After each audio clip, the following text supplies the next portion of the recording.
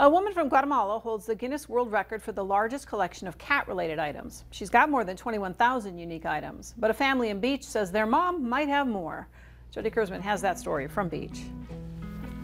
Artis Stedman was crazy about cats. She was always an animal person. For some reason, had this strange love for cats.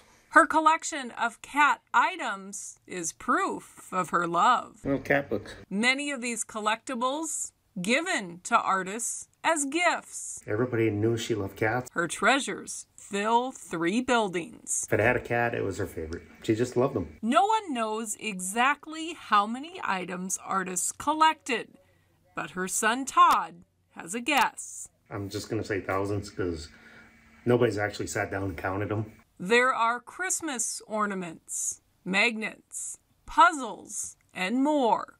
No two are the same. She had inventory of all of this in her mind. She knew exactly what what she had. Artis passed away last year at age 85.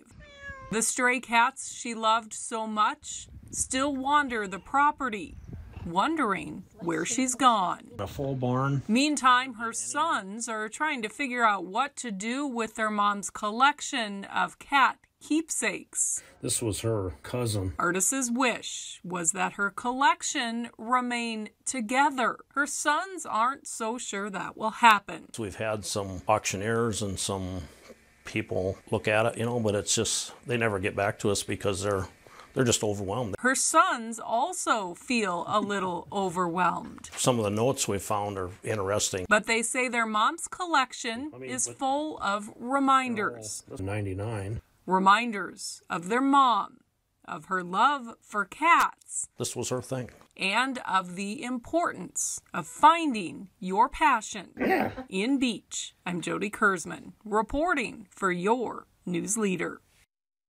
If you're interested in Artis's collection, you can call Kenny. Those numbers 701-872-3243 or 701-872-6518.